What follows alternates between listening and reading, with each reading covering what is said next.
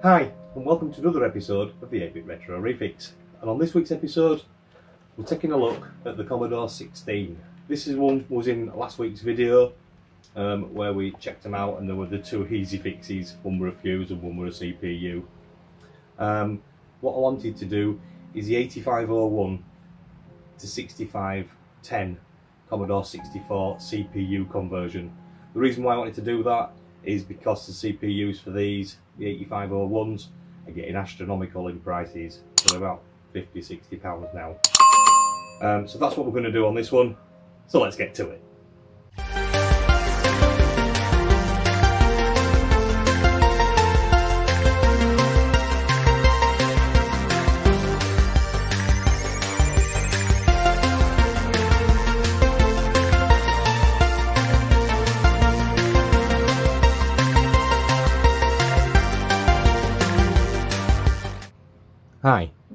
So, this is the conversion that we're going to do. Um, it's easy enough to find. So if you just go on to hackjunk.com, um, you'll see on a list down this side here, it's got the C16 plus 4 8501 to 6510 CPU conversion. If you just click on that, it brings you to this page. So this is basically the one that I've done. Um, the board that I bought was slightly different to this one, it was just a different way around, different colour, but it is the same thing. So if you just look on eBay, you will find these kits. I think they're only about £20, something like that. Let's see if I can find that for you.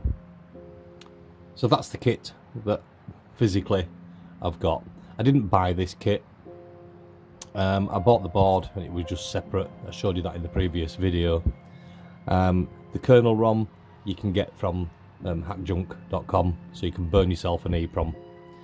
If you don't know how to burn EEPROMs, um, if you take a look at the video where I did um, how to make a Commodore 64 kernel ROM, it is exactly the same process. I'll pop a picture up to that video and then that's in my playlist. Um, you can take a look at that if you don't know how to burn the ROMs. So that's the one that I purchased. Um, so what it says in this is basically you solder the pin headers across the bottom, put yourself a socket on um, and plug your chip in. There is further down a little jumper on this board which enables the tape drive. If you don't put that jumper on, the tape drive won't work, it won't power. Um, but unfortunately, the, the tape motor will continuously to run. There is a diode that you can fit on the back where it will stop the tape deck, um, etc. and things like that. But if you're not bothered about it and you're just going to load a game, you can just stop the tape deck anyway. So it's no real biggie at all. Um, the only downside of it is if you've got a multi-loading tape, you know, where you've got to load each level off tape, you're going to have to remember to stop the tape deck. And that's it. That's the only difference. So what we're doing down here. This is a plus four mod for it. The, the, the extra board as you can see there. Um, that's different because it's laid further over and it's sat further down because of the keyboards. On the C16 it's not an issue with that. So you just do the little board like this one and plug it in and swap that kernel ROM with the EEPROM that you've burnt. Um, that should be pretty much it. So if I scroll down um, and find the other pictures for you. Now you see there, that's where the um, little jumper is for the tape deck. Mine was on the top, so it's underneath the chip. Um, but it's the same thing. So all you do is just put a blob of solder or a jumper wire over there. If you want to enable the tape deck to stop, so all you need is a diode that goes from pin 3 of the U9 up to pin 4 um, just here where it's showing you on here. And it's just showing you that's where the cassette port connects into. So that will should um, enable the stop of the tape once it's loaded. Of course you can go on with different models. You've got the plus 4 it works exactly the same. Again on this one you just had to go to U7 here um, and up to the cassette port point up here again and that's the same. Um, that's another side of a plus 4 it goes into how the jumper creates the bridges between the pins between the 8501 and the 6510 but you shouldn't need to deal with any of this um, because all that's pre-built into the board anyway. And that's it. So let's pop over to the C16 that we were repairing um, that needed a CPU and let's take a look at it so this is inside our C16 that we was looking at last week um, that needed the CPU I've already swapped out the kernel ROM I've already created the board soldered this pin headers in put a socket onto it and plugged the 6510 in I didn't bother, like I said, with the diode. I wasn't too bothered about that. But if you want to, if you just follow that website, that should enable that for you. So, let's um, see if it fires up and makes any difference. Don't think it'll make any difference because it should actually work exactly the same as the 8501. Um, but as I said, with just that tape issue. So I don't know whether you can hear that, but I'll try and put the microphone close to it so you can hear.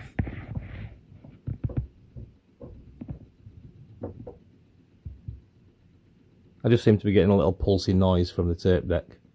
It does get quieter and quieter and quieter to a point where it's not there when you're switching it on, switching it off. But you can just quite hear that tapping noise, can't you? But that, as I said, that does go away once the game's loaded, um, and, it, and it does seem to stop pulsing like that. So let's get up to the screen and let's see if this tape deck loads. Right, okay, let's switch it on. Let's see if she boots up. Yep, she started up, look. Everything seems all okay. We've got keys. Yep, everything hunky-dory. Yeah, gonna do sync that, Sarah. So let's see if that tape deck loads. Ah, so as soon as I press play, that tapping noise on the tape deck stopped. There we go, we found Beachhead and it goes straight across and straight through. I did notice that the tape doesn't stop. I'm not sure on the C16s whether it does stop.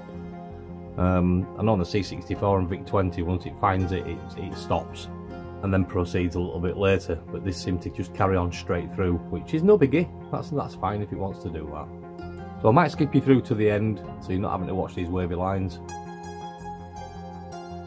That's just the loading screen. Good old Beachhead. Great game on the Commodore 64.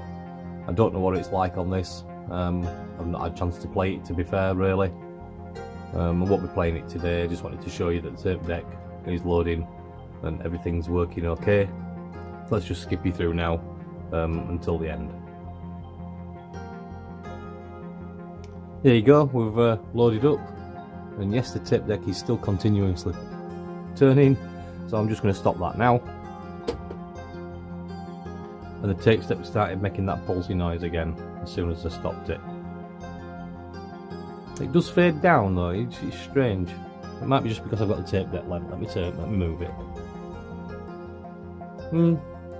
We'll have a look into that, maybe that diode a little bit later and see if it makes a difference. So this is Beachhead.